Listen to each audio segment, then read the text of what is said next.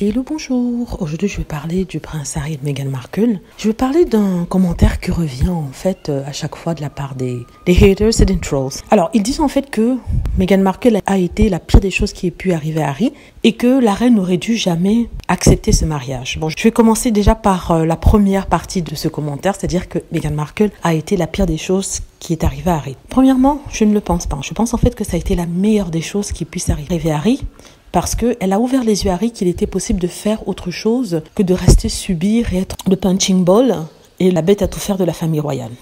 Harry, de toute façon, a toujours eu envie de partir, mais il ne savait pas comment. Donc, il ne savait pas comment faire. C'est-à-dire qu'il se disait que tout seul, il ne pouvait pas y arriver. Il avait besoin de quelqu'un de très fort à ses côtés. En Meghan Markle, il a trouvé cette force. Meghan Markle, c'est quelqu'un de déterminé, c'est quelqu'un avec une très grande force de caractère, c'est quelqu'un qui ne plie pas. Et ça, c'est quelqu'un de très, très intelligent. Parce que pour pouvoir échapper aux griffes de la royauté comme elle et Harry l'ont fait, il faut avoir été quand même ce qu'on appelle un mastermind. C'est-à-dire quelqu'un qui a une, une très bonne capacité d'analyse et qui sait saisir le moment et remarquer en fait que les choses ne vont pas. Donc Meghan Markle est ce genre de personne-là. Il avait besoin de ça pour pouvoir échapper à cette famille qui lui pesait, à ce rôle de prince qu'il aimait bien dans le sens où ça lui permettait d'accomplir des choses pour euh, toutes les fondations de charité, pour par exemple les enfants malades, pour euh, Saint-Embal et en Afrique. Ça, c'est la partie du rôle de personne royale qu'il aimait bien. Mais il n'aimait pas l'autre partie, c'est-à-dire d'être tout le temps, comment dire, la personne euh, sur laquelle on s'acharnait quand euh, les autres personnes de la, la famille royale avaient des problèmes. Si par exemple le prince Charles avait des problèmes, ben, on sortait une histoire sur le prince Harry et la plupart du temps, c'était la famille royale qui donnait ces informations-là aux journalistes. Voilà, ce qui fait qu'il a trouvé en elle quelqu'un le faire sortir de ce carcan-là, de cette famille royale pesante, de ce rôle pesant. Il a trouvé en elle une personne brillante, une personne intelligente, une personne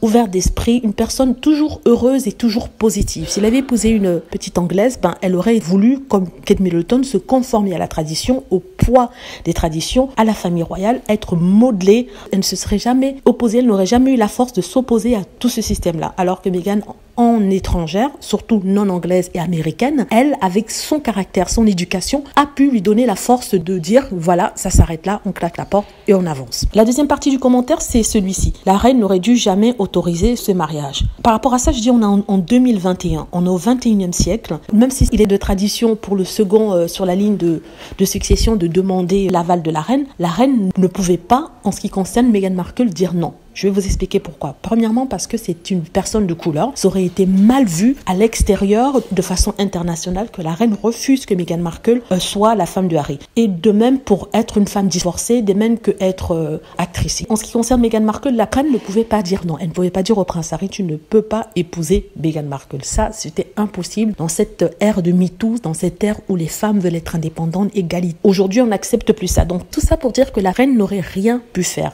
Harry voulait épouser Meghan et même il a un très fort caractère. Je suis sûre qu'il aurait claqué la porte et serait parti, il aurait épousé comme il l'a fait dernièrement pour protéger sa femme et ses enfants. J'espère que vous êtes d'accord avec moi par rapport à cela. Sinon, vous pouvez toujours laisser des commentaires par rapport à cela si vous avez une opinion contraire. Bien sûr, dans la bonne humeur parce que s'il y a des commentaires dégueulasses, mal polis, non, moi j'efface tout de suite. Voilà, dites-moi ce que vous en pensez. J'espère que vous avez aimé la vidéo. N'hésitez pas à cliquer sur like si c'est le cas, à vous abonner pour plus de vidéos et à cliquer sur la petite cloche afin d'être averti lorsque je poste une nouvelle vidéo. Merci.